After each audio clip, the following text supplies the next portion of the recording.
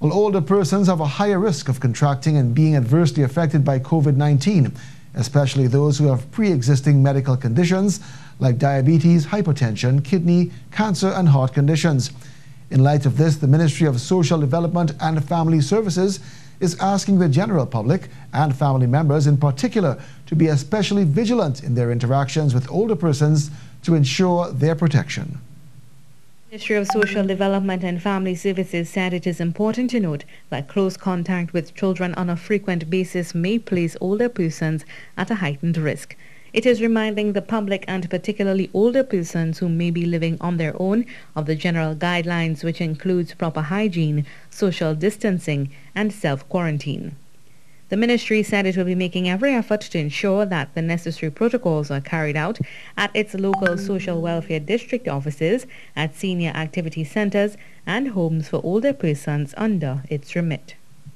It has listed several measures for family members, caregivers at private residences, or workers at senior citizen homes, institutions, and activity centers.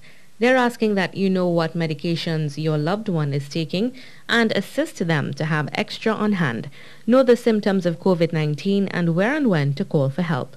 Medication should include vitamins C and B.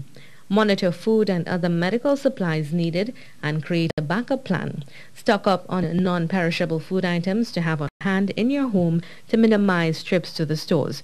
If you have a loved one in a care facility, monitor the situation, ask about the health of the other residents frequently, know the protocol for visiting hours and visits should be limited to immediate family members as much as possible, and remember that social connections are very important at this time. Use traditional and new methods of communication to stay in touch. Older persons are encouraged to take the following everyday preventative actions. Wash your hands often with soap and water for at least 20 seconds. If soap and water are not available, use a hand sanitizer. Avoid touching high-touch surfaces in public places.